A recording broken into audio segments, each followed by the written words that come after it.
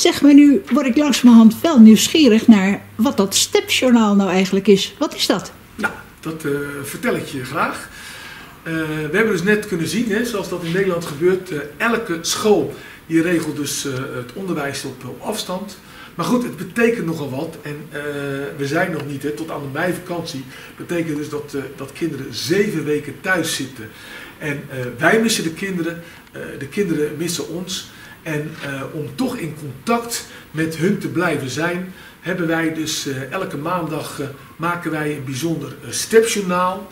En daar willen we eigenlijk kinderen, onze leerlingen en ouders een hart onder de riem steken. En dan heb ik verschillende onderwerpen. En dat nemen we in één keer op, gewoon met een telefoon.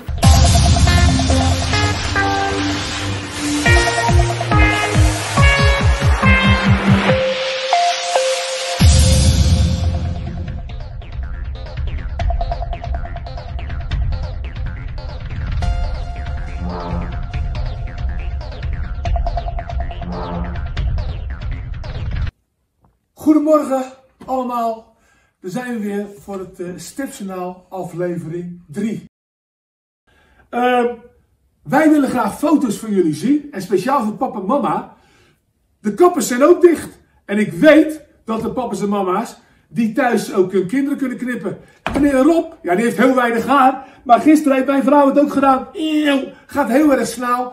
Dus Gaat papa of mama jou deze week nog knippen? Maak er een fotootje van of een filmpje. Stuur het op naar het Stepjournaal en dan gaan we het volgende week weer zien.